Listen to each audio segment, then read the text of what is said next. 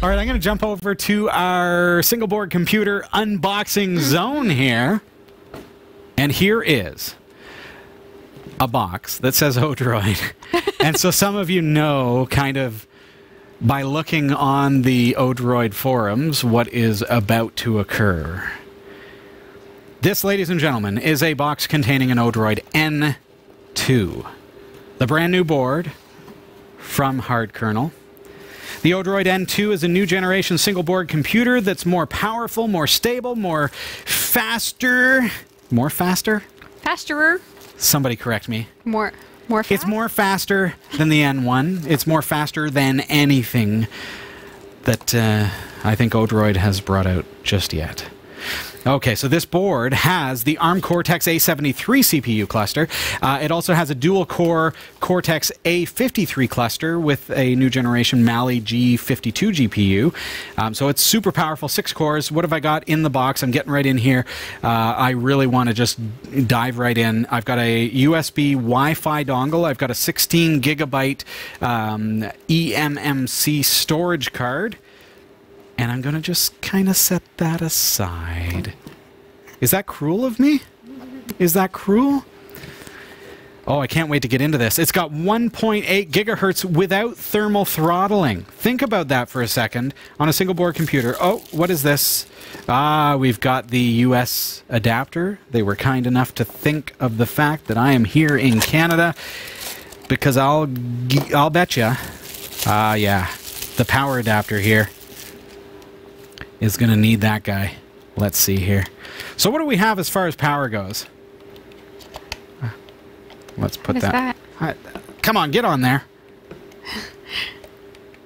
Somehow, some way, ladies and gentlemen, this bad boy ah. is going to clip on here and give me power. I guarantee you that is the case. But it makes really bad TV to actually demonstrate it for the first time. So Do you, just do you want me to? Do you want me to do that? that's going to plug into this and it's going to allow me to plug that into my wall. This is a 12 volt 2000 amp, uh, milliamp, 2000 amp. Yeah, right. Uh, 2 amp. There we go. Uh, this is the chassis. We've seen something similar to this on the Odroid uh, HC1. Wait a minute. This looks really tiny for an N2. I've seen the pictures on their website and it looks huge. Can it really be that small? This is rhetorical. It's just to because I'm excited. this is a lot smaller than I was expecting. Oh, look at that. There you have it. Ladies and gentlemen, I'm just going to bring that up to the camera just so you can get a quick little glimpse at the Odroid N2. What do we notice? First of all, these are blue. Hmm. Four USB 3.0 full sized ports. that is perfect. We've got HDMI 4K 60 out. We've got gigabit Ethernet. We've got the barrel adapter input. Are you ready for this? This is kind of exciting for those of us who have a lot of bricks laying around. This will take 7.5 volt. This will take, uh, I, I think it's like up to 20 volts. This will take a like a wide range of adapters. 12 volt 2 amp is the recommended voltage and amperage but uh, whatever you plug into this is probably going to power it as long as it's 7.5 volts plus but if you plug in a 9 volt adapter if you plug in a 15 volt adapter it's going to power this board and it's safe to do so it will automatically down or up step as needed we've got 40 pin gpio for the purists and the developers, we have GPIO here. We've got, uh, I infrared. So if we want to use this as a uh, infrared receiver for, say, a set-top box or something like that, we've got eMMC. So this is where our eMMC storage is going to plug in. We've got a flip switch for our SD card versus uh, eMMC booting. We've got a uh, OTG input uh, if we want to plug in an OTG cable. That's USB 2. We've got stereo audio. That's an output. And of course, we've also got audio on the HDMI digital out. One of the things that you notice with this, as per the HC1, HC2, is that there is no SoC, there is no CPU, there is no central processing unit shown on the board. And that is because, on the flip side, which you cannot see, all right, the SoC is on the bottom of this board. And what that allows uh, Hardkernel to do is they've created this massive heat sink, mm-hmm. this huge aluminum heatsink, which feels very cold to the touch, is in contact with not only the, the SoC, so the processor itself, but also the, uh, the RAM modules, which has four gigabytes of DDR3. Or is it DD? Let me think here for a second. It's in contact with those modules, anyways. It's going to keep it really, really cool. I, I, I'm I stand corrected. This is DDR4 RAM. See, I'm even astonishing myself here, folks. It has 4 gigabytes of DDR4 RAM. It's 35% faster RAM than the N1, uh, way, way faster than the. Uh, than say the Raspberry Pi 3. Now, the metrics that are provided by Hardkernel are based on the Raspberry Pi 3 Model B, but it's still fair as a comparison. And we can say that the CPU, the performance is 20% faster than the previous generation of this. Um, and the, the heat dissipation is obviously um, going to prevent throttling as well. That's one of the key characteristics here. If we compared this to the Raspberry Pi, the benchmarks of the N2, it absolutely blasts past the Raspberry Pi 3. Um, the dark blue that you see there, that represents the Pi 3. The orange on the right, that's the N2. For those who are curious, the XU4 is the purple bar and the light blue bar is the N1. GPU performance is 10% faster than the N1, um, so it performs very, very well. RAM performance is easily, easily 10 times faster than the Raspberry Pi 3. It's also available in a 2 gigabyte model. So if you want uh, less RAM, save a little bit of money, you can just go with 2 gigs, uh, depending on your use case. Um, and, uh, and there you have it, folks.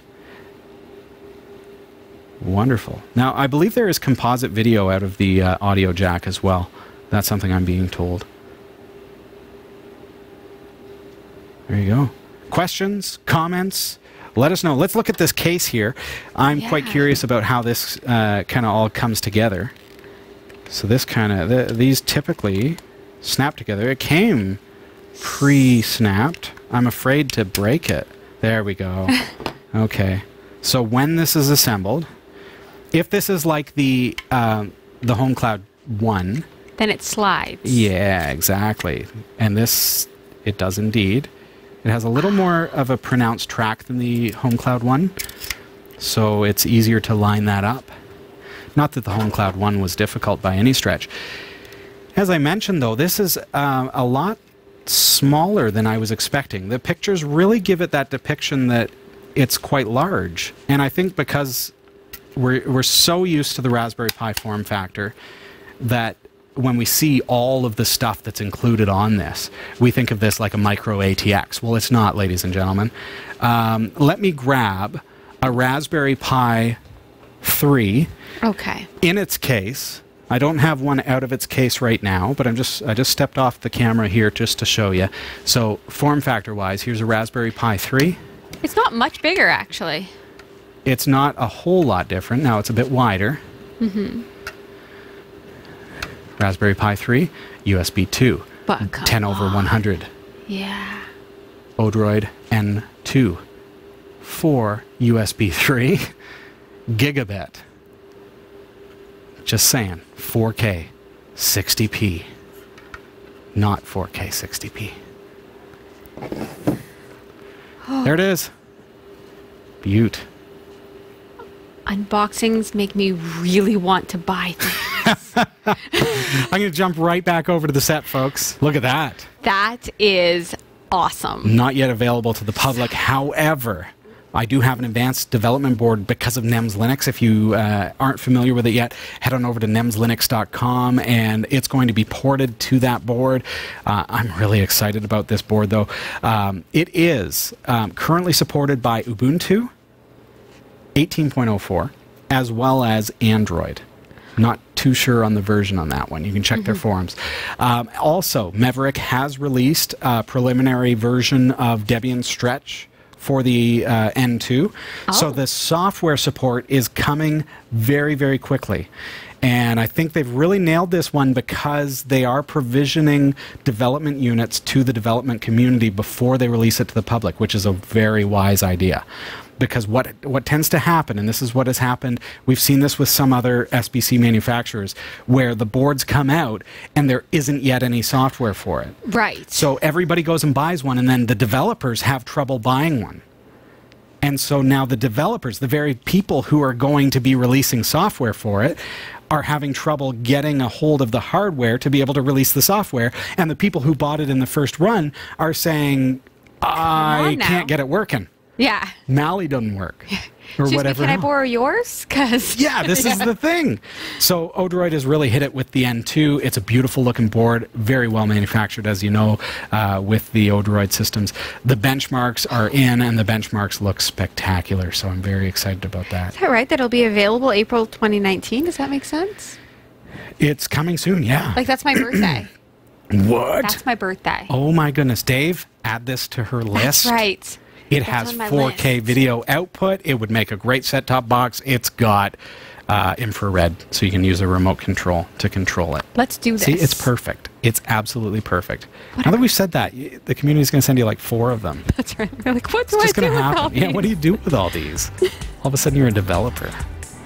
Check out the uh, Odroid N2 along with their other products in the line. Cat5.tv slash Odroid.